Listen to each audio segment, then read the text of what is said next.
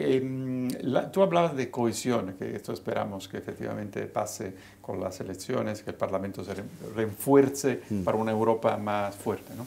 Em, ¿Cuánto puede haber empatado el, tema del Brexit? Es decir, eh, en el fondo ha sido un ejemplo de algo que, que, está creando varios problemas a, Inglaterra. Yo quiero decir, salir de Europa no es tan fácil como se pensaba y, además se tiene rebotes, tiene consecuencias eh, económicas que quizás lo, cuando se hizo el referendo del Brexit, que se hizo por motivos políticos, sin valorar el impacto económico, no se había valorado exactamente qué podía pasar, ¿no? si efectivamente el referendo podía ir mal. Entonces, ¿cuánto, ¿cuánto esto está cohesionando más inconscientemente también Europa en ese sentido?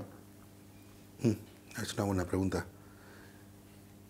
Yo creo que e, e, eso está forzando a, esa cohesión. Se está llegando a una percepción de respeto hacia eh, los organismos eh, que nos gobiernan en Europa, que son los que están negociando con eh, Gran Bretaña en este momento, y que hasta ahora el que más y el que menos no tenía muy claro eh, cuando votaba en las elecciones europeas a quién estaba votando ni para qué. Exacto, es verdad. Entonces, esto está sirviendo para llegar a conocer el alcance de la cohesión, el nivel de cohesión que hemos llegado, eh, y eso a la vez pues, redunda en que mm, todos mm, percibimos que eso está funcionando. Está viniendo bien. Eh, si reunido en algún momento se pudiese plantear salirse o no, no da la impresión, si no, no estarían con este debate. Entonces quieren algún término intermedio y probablemente pues mm, también haya que empezar a pensar en la posibilidad de que podemos estar juntos, pero no necesariamente tan unidos.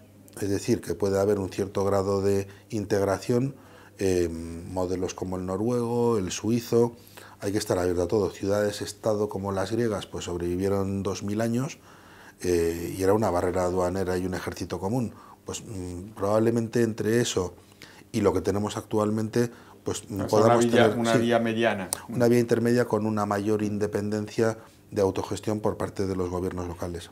Bueno, ahora parece que últimamente, eh, no sé si de una manera provocatoria, Corbyn ha hablado mm, de la posibilidad también de un segundo referéndum. Yo quiero decir, eh, la MEI ha dicho no, tenemos que cumplir con lo que la gente quiere, tal. efectivamente el debate ahí es que puede pasar cualquier cosa.